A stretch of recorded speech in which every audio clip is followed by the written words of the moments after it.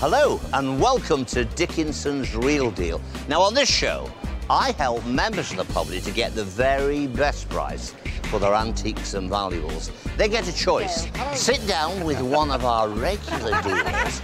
They're going to try and tempt you with a cash offer on the table today. A thousand pounds. I think you could just go a little bit more. Oh, If I don't think that's enough money, I'm going to say, no way. Don't accept that. Have a gamble. Go to auction.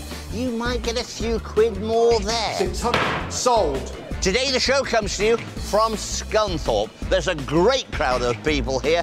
They've been here since early this morning. They are determined to do business. You know why? They want to walk away with the real deal.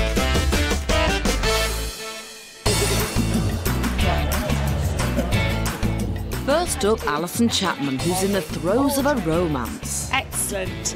Well, I love them. Oh, good. How much do you want for them? A lot. do you? yes. Mm. I've got Well- three older sisters, and whatever I get has got to be divided four ways. And of course, I'm the little sister, and if I don't return with the goods, they'll.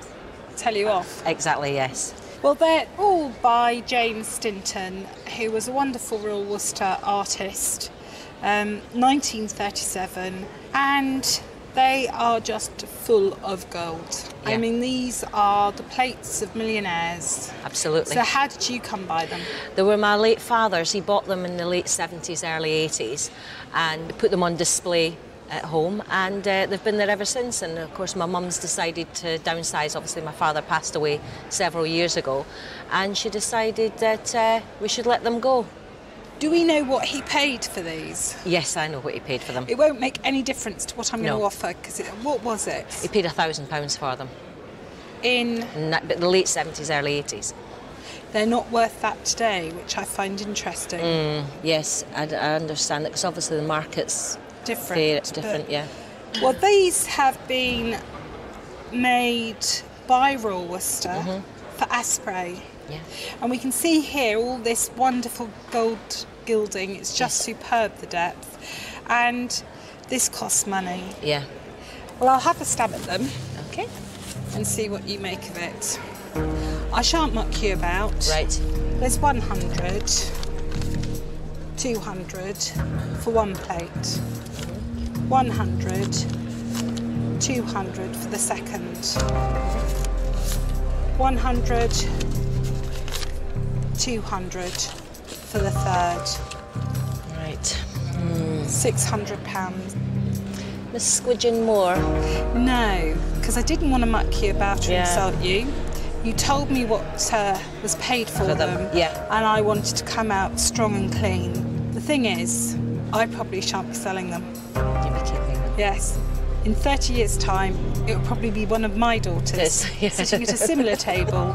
And let's hope when they say, oh, yes, mum paid £600 Yeah. for them, they're shown a profit. Yeah. But if they had not shown profit, I will have had the pleasure of enjoying the best of its kind. And to me, that's a bargain. Yeah. Well, it's a deal then. Sure. Yes, thank you. As long as you promise to love them and look after them. I will do. And Thank thank, you. you. so much. I was undone and totally seduced by them as soon as I saw them on my table. I knew I would be going home with them. That's made Alison's day. Across the dealer's den, Steph has brought something very delicate for Debbie Serpell. But what exactly is it? Steph, tell me about the history of this piece you brought in today. Um, well, I know it's from London and it's it's very old, that's, but that's all I know really. right. And uh, it was my granddad. He was a collector, an antiques collector, and he found it. But that's all I know about it. So you don't know where granddad got it No. from, and it wasn't it wasn't in uh, something someone's worn that was in your family. No. It's something granddad's he's got- collected. yeah, he's a big. He was a big antiques collector. Okay. It's a lovely thing. I think people would call it a nurse's belt. I think that it has had an overlay of gilding at some point. Can you see where we've got the silver showing through here Yeah. on the buckle area? And then as you go down here, these little sections are quite gilded in mm. areas. Now, what happens with gilding is it's a very fine layer of gold overlaid on top of silver. And where the buckle is, is where it would have been handled Yeah. more. So that area, the gold wears off. It's not, it's not problematic. Again, although they're very well hidden, in these little patterned areas are clear hallmarks, but you have to look for them. Yeah, really Um, I, I had difficulty to begin with, but each one of these has got a hallmark. So all the way down there, we have a hallmark for London 1900, which is what you said. You Yeah. thought it was from London. So lovely, lovely piece. Its downside uh, is that it's quite small. Yeah. Um, it would only fit someone who is incredibly slim. Yeah. So let's put some money on the table and see what you think. Start with a £50 note. How do you feel about that? Uh, I don't think that's enough yet. Not enough. No. Okay. 70. Still not enough. Still not enough. We're getting there? Yeah. Yeah. 90 pounds. How do you feel about that? I feel like it's still not enough. Still not enough. I'm getting nearly there.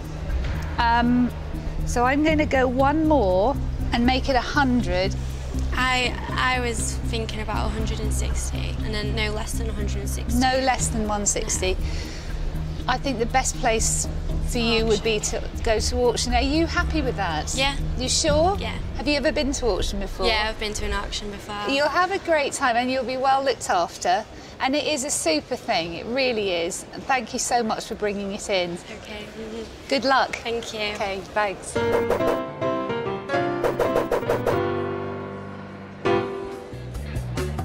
It's a no sale from Debbie, Steph, but you've grabbed yourself a date with the Duke over at the auction. Let's see how the belt fares under the gavel of auctioneer Colin Young. Now, Steph, on the dealer's day, you brought along a pierced silver belt decorated with flower heads and, and foliate scrolls. It's marked London 1900. Now, you turned down the £100. Yeah. Why? Is it obvious, I suppose, you wanted more I money? wanted more money. So you fancied a gamble, come into the auction, you know that there is a commission to deduct whatever we get here. The question is, are we going to do better? The reserve is £120. Uh, lot number 60 is a pierced silver belt, London 1900. Very nice item this. Who's going to start me? 100, 100, 100 bid. And 10 now do you have for me? At 100, 110, 120. At 120, we're on the market at 120. Is there five anywhere else now? At 120 bid. 120, it's right on the reserve. By the door, selling at 120. 120, take away the commission. It's about 106, 107 pounds, something like that. Are you satisfied with that? yeah, I'm satisfied. Any idea what's going to happen to the money? Is it going to the family or is it going with you? It's going with me. Any idea what you're going to spend it on? Is it holidays, Ibiza? Uh, Maybe. Maybe. Maybe. Those were the days, weren't they? Ibiza, Libres. Great. Okay. Take home 106, which was a little bit more than our dealer offered. Happy? Yeah. Very happy. Maybe going on holiday. That was the real deal. David Hakeney has gold jewellery all over his table, and Gail wants the cash for a very special occasion. Well, you brought some uh, jewellery in today. That's right. Here it is. We've got half a sovereign here. And all the rest is 9 carat gold, I presume? This will be 22 carat, the coin. So, really, today, uh, the terrible word uh, bullion or scrap really applies to this sort of jewellery, really, because it's not very popular anymore. No. They seem to want silver jewellery or white gold That's right. these days. So you've got some chains here, a tie clip, bracelet, and some rings. Are these things you've been in the drawer, not using? Yeah, they've just accumulated from various places over the years and just surplus to requirements, really. So, We weighed this nine carat gold here, and it weighs about 60 grams, and the coin here will weigh around about four grams, half a sovereign. So there's a lot of money here. So I'll get some cash out and try and uh, spend it. What are you going to use the money on? well, we're getting married this year. Oh, So, nice. Um, Congratulations. Every, every little helps. Well, it does. You need uh, plenty of Doremi to get married, don't you? Really? You do. So I better not mess about and go straight in with a 50, 100, 150, 200, 250, 300, 350, 400, 450, 500. It's heading in the right direction, But not enough. but it's not enough, no. Pounds. Well, that's probably worth 120 on its own, Mm-hmm. isn't it? Well, 550, 600. So that's 700 pounds. Right, it's getting close. I know you're getting married. I'm not paying for the whole wedding, am I? no, it's expensive cake. well, uh, I think I'm getting fairly close. I've got to be honest with you, Gail. Okay. I think we can fairly say what is here is going to go into the bullion field. As of today, the spot price of gold, this parcel here is £830. £700 is on the table. I think if there was another 50 quid in there, I'd say forget about taking them elsewhere. You've got to give a profit to our dealer. Another 50 quid, Dave? I never say no to girls. 50 quid, I- Gail. If there was another 50 quid in there, there'd be a £100 profit for our dealer. I wouldn't try and take them to an auction, but I think you've got the best price you probably can get. right, I'll accept your offer and agree with David. Thank you very much. I hope the wedding goes down great. I'm sure this money will help it. Thank you. I'm really pleased with the money I've received today for the gold. I didn't realise it would be um, worth quite as much. well, I hope the gold price stays till next week, else I'll uh, lose money on this. Time will tell, David. We'll find out a bit later. Coming up, one seller didn't have high hopes for these salt dishes. Did you have any real expectations with what could look like a bit of old tat? No, I didn't, David. But will seasoned dealer Simon up the odds?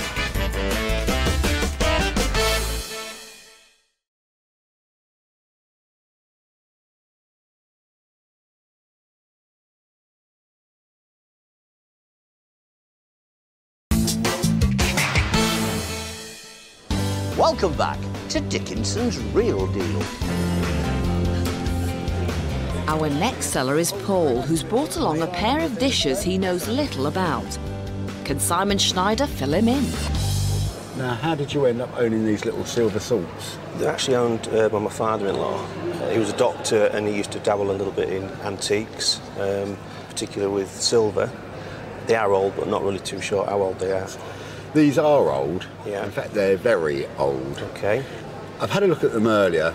The stamps on them are pretty unclear. They're pretty rubbed. Yeah. But with a lot of research, I've managed to date them to what I believe to be about 1697. Oh, right, okay. They're what's known as Britannia Standard Yeah. silver, which started uh, around that time and sort of, I think, went on to about 1720.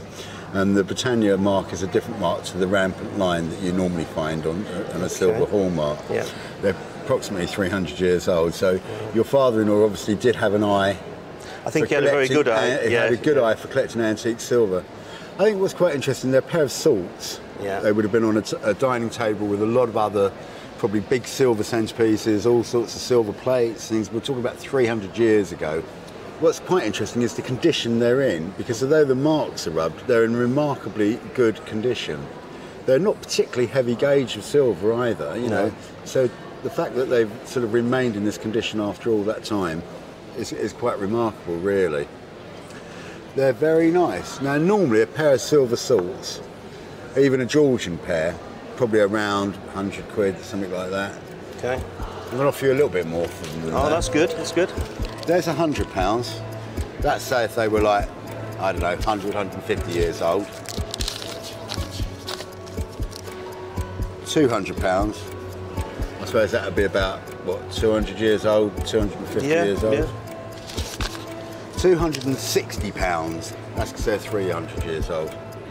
Impressed? Um, yeah, slightly. Oh, good. That's a deal. No.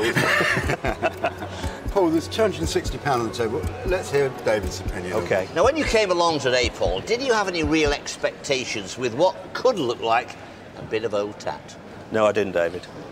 Well, our specialists have had a look at them, and we think they're probably about 1690s, 1697. They are collectible, they're rare and desirable. Now, the independents are saying three to four hundred pounds. I'd be thinking if the marks were very visible and they were mint, I'd be thinking 400 plus again. I think they're in remarkable condition for their age, first of all. They're in very good condition. But I think because the marks are so rubbed, I see them at £300. Now, 260 is a bit on the light side. If you got just over the 300 pounds, I'd be saying, not a bad deal. But I think you're a bit light at the moment.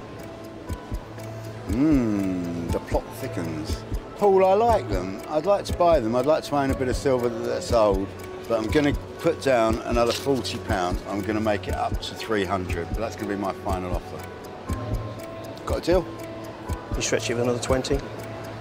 I'm going to stick to the 300 because Right. I think there's, I'm hoping there's still a profit in them. But I know that it's a slight gamble for me because, because of the hallmarks. Yeah.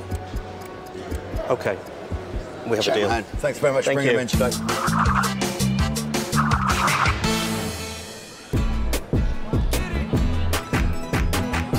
Let's head back to Debbie's table, where I spy with my little eye one game bird. Viv, you brought in a pheasant. I have, yes. Tell me about it. Right, it belonged to my father, and I've had it three years since he died. Um, he's had it quite a long time because he was a pheasant fanatic. It was something that my mother bought him, I suppose, for a birthday or Christmas gift at some time. Right. So was he a huntsman? He used to do shooting, a little bit of shooting um, in his younger days. And did they use it for its purpose? No. No, no. No. And do you, kn- you know what the smoked. purpose was? It's a cigarette lighter. That's right. That's right. It's a very rather grand table It lighter. is, yes. And this piece on the end here comes away, Mm-hmm.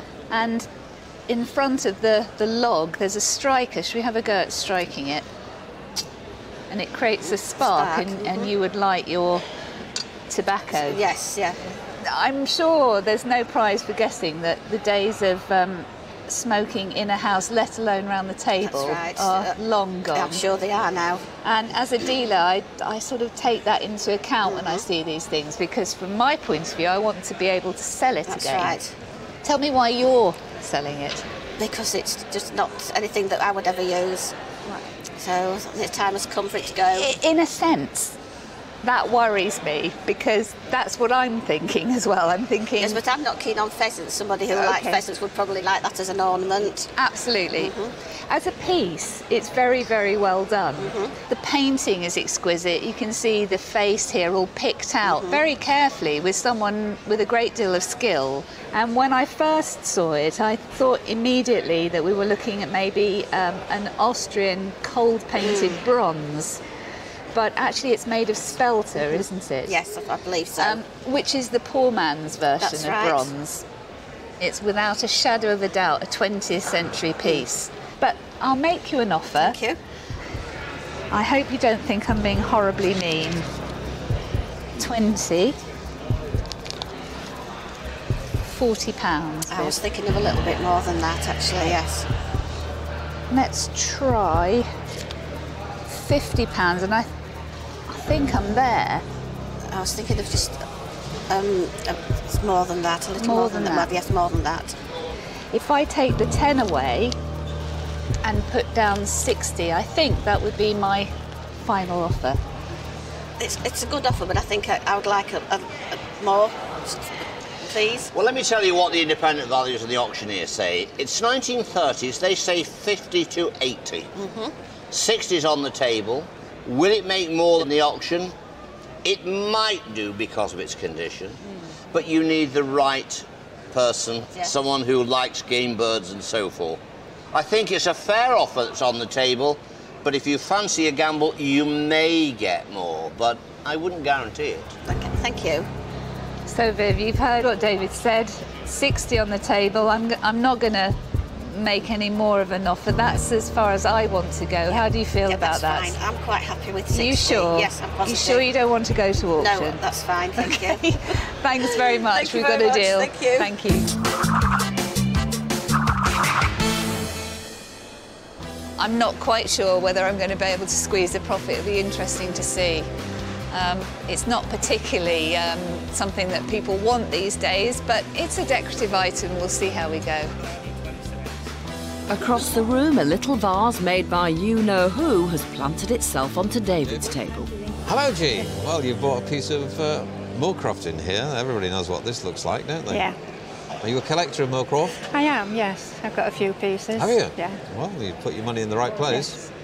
This isn't so old, this piece, is it? no, no, it's not. I can see that by the uh, the, the colours. They're Yeah. just that bit brighter than the uh, the older pieces of Moorcroft. Yeah. So, Jean, tell me why you're selling it. Uh, well, I, it don't fit in anymore. I, I uh, prefer the darker ones. Is this something you've had a long time, this one? No, about maybe three to four years. So you've got a big collection, have you? Uh, I've got about ten pieces. very good, yes. well, I must say it's ever and ever popular, this Yeah. uh, Moorcroft. It doesn't seem to have had any uh, lows. It keeps No, seem to no. keep on the way up all the time, a bit like gold. Let's have a look underneath and see what it says. There we are, Moorcroft. And it's dated as well, which is Yeah. rather nice, so you can see what year it is, 204. Yeah. But it's very, very nice quality. See why people like it, can't you? There we are. Shall I get some cash out and see if I can buy it off you? Yeah, we'll have a go. Get the spondoolies out. what about fifty pounds, Jean? No, No. Nobody says yes straight away, do they? no. Seventy pounds. Mm, no. Think it's worth a lot more, do you? Yeah. What about ninety pounds? Must be warming up now, Jean. You can not far off, but not yet. I don't think I really want to give a lot more than ninety pounds. You do. It's very hard for me to sell the more modern. It's beautiful. It's perfect. I know, but I've got to get a little bit of profit out of this. Oh, you you will do. You will do. I don't think I'd want to give any more. Mm. I'll give a hundred quid. A little bit more? You're an Ira nice girl. Let me say £110 and that would be my lot. You want to go to auction, don't you? No, not really. Let me make your mind up. 120. 120. That's a good bid for a piece of modern Moorcroft. Jean, David. I'm being too generous. No, no, no, no, no. I hope you say no. uh, okay, then we'll have a deal. Okay. That's a good bidder. Isn't it because I like you?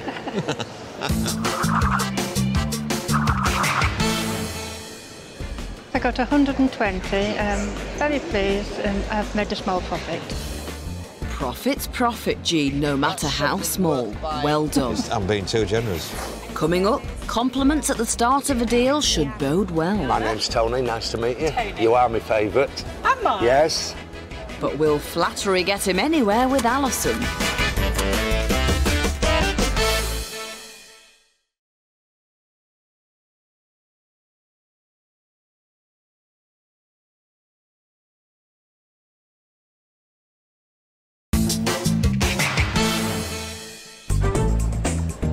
Welcome back to Dickinson's Real Deal from Scunthorpe in Lincolnshire.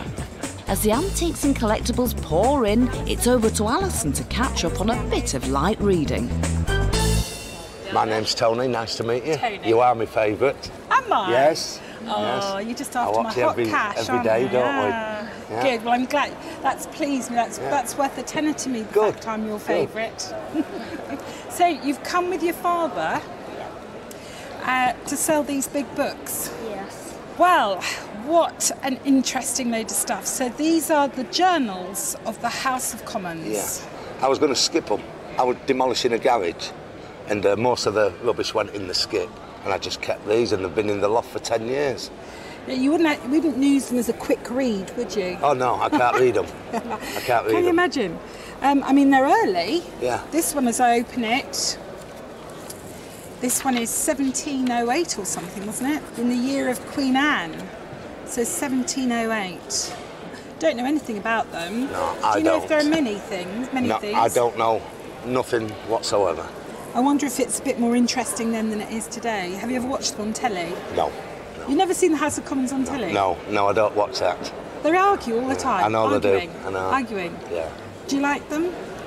No, not We want to get rid of them, don't There's we? no pictures in them, is there? No. No. No. Can't say they really float my boat either. But someone out there will collect these and no doubt find them very interesting. I do think the condition of them, Yeah, I know the binding's a bit bad, yeah. Yeah. so that might Still be a worth of some a- money? Very Uh, keen, yes. aren't you, Oh, Tony? yes. You're, you want just to get the deal done, Yes. don't you, really? Okay. Oh, we'll see what you've got. Are you working on commission for your father, or have you asked him for a cut at all? No. She'll get some. You need at least 10%. Do you know what 10% of £50 is? Well, That's not a lot. Well, I'll show you. That's £50, and 10% of that is a fiver. I'm sure she can do better than that. I mean, I don't really. They're not terribly exciting, are they? Well, they're not exciting to me, no. They're a, a speculative oddball lot. They're very early, 80 to 120, journals of the House of Commons. Hmm. I haven't got a clue what they're really worth. They're the type of thing that only a book dealer or a book specialist collector will really know. So, see what Alison says. If you fancy going to auction, I think there's a reasonable chance. Okay, mate. Cheers. Well, I think you should go to auction, to be honest with you, because I really do feel I'm doing you a disservice. So, would you like to go to auction, Yana? It's up to my dad. Yes, I think that's what we'll do. We'll go to auction, yes. All right then. Good luck. Good luck. Thank you. Good luck. Thank you very Tony, much. And thank you for coming. Cheers. You're still my favourite. Thank you. Thank you You're very welcome. much. We've decided to go to the auction. We need a new lawnmower, don't we? Mm, 55 quid won't buy a new lawnmower, will it? I'm not really into dusty old books. I actually suspect they could go for quite good money despite their condition, but really out of my field. Lot number 33. Well, if they're not your field, Alison, let's head over to Pastures New in the Real Sale deal, Room. 20. And you had some special books, a set of very old journals, leather bound, from the House of Commons. Yeah, that's correct, yeah. You turned down 55 quid. Yeah. Did you do the right thing, you wonder? Well, I hope so. I need a new lawnmower. Okay. You can't get one for 55 quid. Needs a lawnmower, so we need to get a bit more than 55 quid. They're here in the sale room. The reserve's 80. What do you think? Are they going to make 80 quid? I don't know. Neither do I, to be honest with you, Lana. I don't know either, but let's see what happens. Uh, there we go. Good period books. These. What do we say for them? Start at 100 pounds. 100. 100. 80 to go then, surely. 80 pounds. Anybody 80? I'll take 50 if you like. 50 down here. 50 and 5 surely. 50 the bids in the room and 5 surely. But I've got 50 five. pounds, too low. Reserve is 80. And 5 now. 65. 65. Bid 70. And 5 now. 75 bid. 80 bid. And 5 80. 80 pounds. Lawnmower's looking good. My bids down here are 80. Are there any more bids? At 80 pounds. Are we all done for the journals then? At 80. It's in the room. Last call. Done and finished at 80 pounds. Gavel's gone down at 80 pounds. Take away the commission, 65 quid. That's going to go to the uh, lawnmower. How high is the grass at the moment? It's about that high, but once my girlfriend cuts it, then it'll be okay. Okay. Yeah. So 65 to take home. What a gentleman. He's buying the machine so his girlfriend can cut his grass. Hey, come on. You know, they'll be writing in, those girls, they'll be writing in in their droves on the day. That was the real deal. Back in the dealer's den, a smart cocktail watch has made its way onto Simon's table. Is happy hour about to begin? What can you tell me about your cocktail watch? Well, not a lot really. I inherited it from my late mother-in-law um, 40 years ago. I've had it in my jewellery box for 40 years. So I've brought it along Sort of today. Bring along and see if you can turn it into yes, some cash. that's right. And over the last period that you've had it, the 40 years, have you ever worn it at all? no, never, never. Were never sort of attracted to it a- as a timepiece? No, it's amazing, really. No. But I've got a gold watch and I've got a silver watch and I've got uh, other watches and I've just never bothered with it. I suppose by nature it, it's quite a dressy thing, isn't it? It's sort of, it is what we call a cocktail watch or a, or, or a dress watch. And Yes. It actually dates from the 1930s and it's uh, in style it's Art Deco. Yes. So I guess when your mother-in-law had it, she probably may well have had it from new. Yes. If, if you know, she probably had it 30 odd years or so before, Yes. before you had it. Um, they're Swiss-made watches, and the case is made of platinum. Mm-hmm. And we've got these little diamonds, but it's. Yeah. a pretty little watch. You can see all the little diamonds there. Yeah. The only thing I find with these watches, and it's probably as I've got older, is it's quite hard to read the faces on them. Yes, I, I suppose quite- that's why I never wore it. They are quite small, and sometimes Yes. it's quite difficult to actually see what the time is That's with them. right, So they yeah. might not be the most practical of things, but then perhaps they're for young people with good eyesight. Yes. So, Nora, I would like to offer you today for your watch 20, 40, 60, 80, 100, 20, 40, 60, 170 pounds. No, I don't think it's enough. You don't think it's enough? No. You think it's worth a little bit more than that? Well, it is worth a little bit more because I want to try and make a profit on it. Yeah. But maybe am I- being a bit greedy, is what you're saying, isn't Yes, it? Politely, yes. you're trying to say that I'm not. Trying I've been a bit be mean. polite, yes. What about if I was to add another twenty pounds, Nora, and offer you 190 pounds for it? You're getting close. I'll tell you where I am with this. Mm-hmm. It's a pretty watch, and I've had them before, and they're not the easiest things to sell. You think when it's platinum, though, you know, that's the most expensive metal. Absolutely. get, yeah. What I am prepared to do, though, just because you've been so patient with me and so polite, not calling me mean, I'm prepared to go to 200 pounds, but that would be my final offer. I think I'll accept that then. Well, thank you very much, and thank you very much for coming in today. Thank you. I thought it was a gamble to let it go to auction, and uh, so I accepted the offer, and I'm happy with it. It's funny that these watches aren't worth a bit more, to be honest, but as I said to Nora, I've had them in the past and they've taken me quite a long while to sell, so hopefully this one will go a bit quicker and hopefully I'll get a little profit on it. Coming up, David's fretting about Mr. Hakeney's wardrobe. Dave needs quite a bit of money to dress like that. But can he lay enough cash out to fashion a deal? A thousand pounds.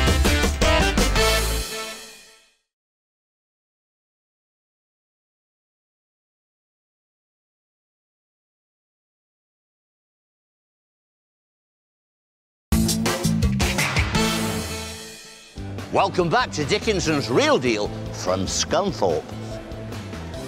It's the last deal of the day, and a fabulous collection of military badges and coins has caught everyone's eye, including the Duke. Auctioneer Colin Young will want these in his sale room. So David Hakeney will have to open his wallet if he wants to own them. Hi, Mike. Well, this is an interesting lot here you brought today. These are silver coins, Yep.